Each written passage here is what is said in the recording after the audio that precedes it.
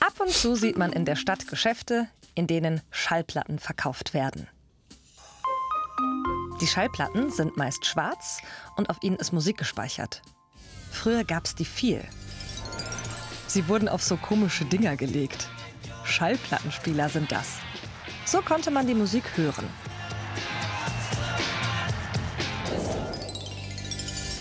Und heute hören wieder mehr Menschen Schallplatten. Sie nennen sie auch Vinyl. Mich interessiert, wie kommt die Musik auf die Schallplatten und wie werden solche Platten gemacht? Um das herauszufinden, habe ich auf einem Stick Musik mitgenommen und bin nach Leipzig gefahren. Dort gibt es eine Firma, die Schallplatten herstellt. Als erstes treffe ich Tom. Ich gebe ihm den Stick und er lädt die Musik auf seinen Computer. Damit sie sich später auf der Platte gut anhört, muss Tom die Musik zuerst bearbeiten. Ist ja klar, was ich mitgenommen habe. Kennt ihr alle?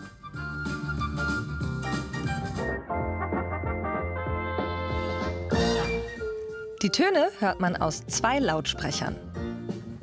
Zusammen entsteht ein räumlicher Klang. Man nennt das Stereo.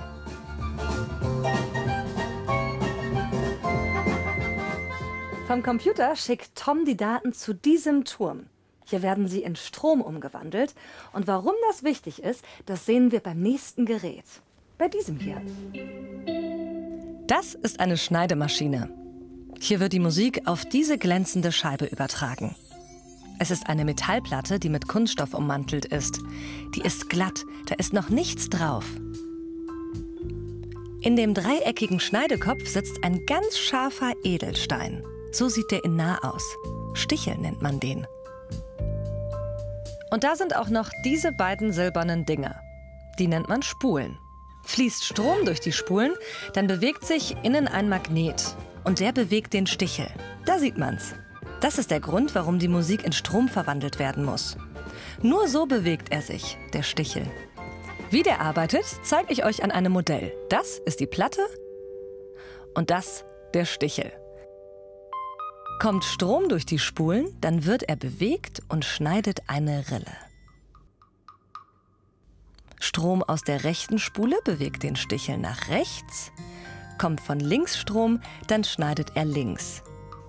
So entsteht die Rille und der Stereoton. Es gibt zwei Spulen, weil die Musik gleichzeitig von zwei Seiten, links und rechts kommt. Ihr erinnert euch, die Musik kam auch aus den Lautsprechern links und rechts.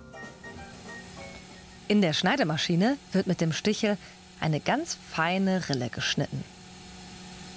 Während der Stichel schneidet, dreht sich die Scheibe. Da kann man die Rille schon sehen.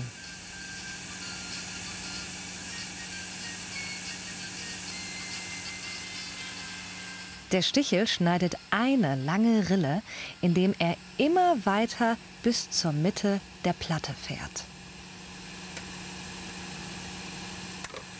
Im Prinzip könnte man die Scheibe jetzt auf einen Plattenspieler legen und sich die Musik darauf anhören. Aber dann hätte man ja nur eine Platte. Und Musiker möchten natürlich viel mehr Platten verkaufen. Und deswegen muss sie kopiert werden. Hier ist die Scheibe. Dafür nimmt Michael die Scheibe und mit diesem komischen Ding kratzt er in der Mitte, wo keine Rillen sind, den Kunststoff ab. Darunter sieht man das Metall. Das ist wichtig, denn Metall kann Strom leiten. Der schwarze Kunststoff kann das nicht. Bevor aber Strom ins Spiel kommt, muss die Scheibe erst einmal sauber gemacht werden. Sonst könnte die Musik später beim Abspielen knacken. Jetzt kommt die Scheibe in ein Schaukelbad, also in so einen Behälter, der hin und her schaukelt. In der Flüssigkeit ist ein Metall gelöst. Das kann man nicht sehen, aber während die Scheibe im Bad ist, lagern sich kleine Teilchen an der Scheibe an. Man kann sich das ungefähr so vorstellen die Scheibe ins Bad und etwas bewegen. Und die Kugeln, das sind die Teilchen aus Metall, die haften fest. Das Minus bedeutet, dass sie negativ geladen sind. Und so ein negatives Teilchen ist am liebsten mit einem positiven Teilchen zusammen. Wie das dazu kommt, Das zeigt mir jetzt Michael. Er nimmt die Scheibe und hängt sie an einem Drehteller auf. Aus der Spritzpistole kommt eine Flüssigkeit, in der Silber gelöst ist. Das ist ja auch ein Metall. Die Silberteilchen sind positiv geladen und deshalb zieht es sie zu den negativ geladenen Teilchen auf der Scheibe. Sie hängen sich richtig fest aneinander und so entsteht auf der Scheibe eine hauchdünne Silberschicht. Richtig gut gelungen ist diese Schicht, wenn sie wie ein schöner Spiegel aussieht. Wieder abspülen und bevor es ins nächste Bad geht, kommt ein Gummiring um die Scheibe. Warum der wichtig ist, sehen wir später. Jetzt erklärt sich erst einmal, warum die Scheibe in der Mitte freigekratzt wurde. Denn im nächsten Bad kommt Strom dazu. Und der fließt hier über die Mitte durch die gesamte Scheibe. Dafür kommt die Scheibe auf eine Halterung. In dem Bad ist Nickel, hier diese silbernen Dinger.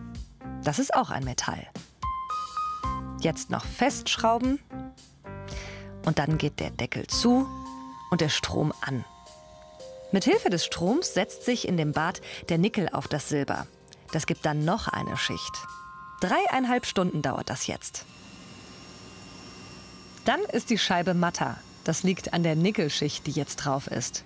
Und durch die wird das Ganze erst stabil.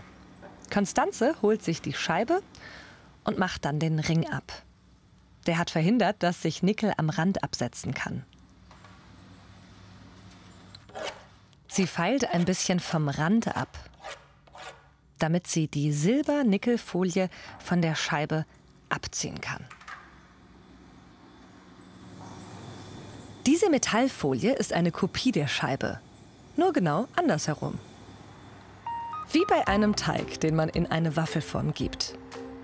Ich mache das mal vor. Dort, wo am Anfang beim Waffeleisen Berge sind, sind in der fertigen Waffel Täler. Genau so entsteht die Kopie der Platte. So kann man aber noch nichts mit ihr anfangen, denn es ist ja jetzt alles genau andersherum. Deshalb gehe ich mit dieser Kopie weiter zu Peter. Damit die Platte später schön rund läuft und nicht eiert, wird die Mitte ausgemessen und genau dort ein Loch ausgestanzt.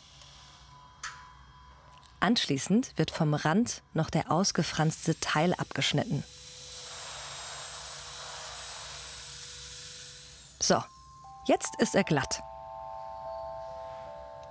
Zum Schluss hält Peter die Kopie unter ein Vergrößerungsglas, um ganz genau zu gucken, ob sie auch keine Fehler hat. Die würde man sonst in der Musik hören.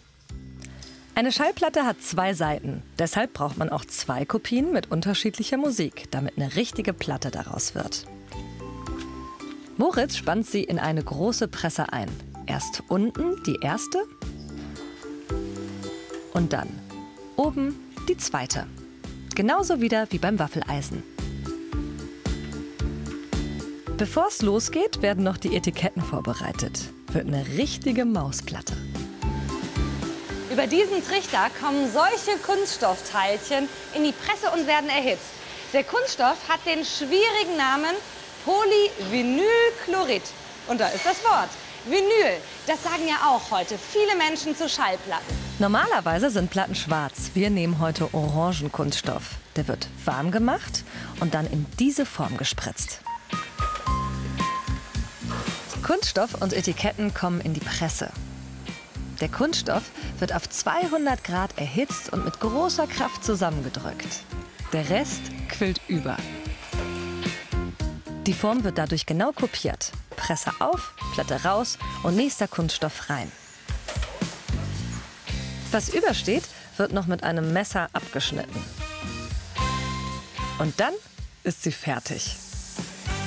Durch das Pressen ist wieder eine Kopie entstanden. Jetzt sind die Berge und Täler wieder da, wo sie am Anfang waren. Und deshalb habe ich jetzt eine Platte, von der man Musik abspielen kann. Natürlich in Maus Orange.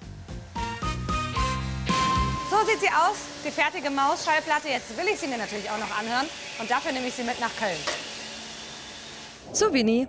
Sie ist DJ. Das bedeutet, sie legt Platten auf, um für ihr Publikum Musik zu machen. Wenn sie die Nadel des Plattenspielers aufsetzt, passiert genau das Umgekehrte zu dem, was der Stichel am Anfang gemacht hat. Die Nadel tastet die Rillen der Platte ab. Ihre Bewegung wird in Strom verwandelt und der wandert zum Lautsprecher und versetzt ihn in Schwingungen. Das ist die Musik, die wir hören. Das klingt echt super. Ein DJ kann aber auch noch viel mehr. Winnie kann aus dieser Musik etwas ganz Neues mixen. Und das klingt dann so.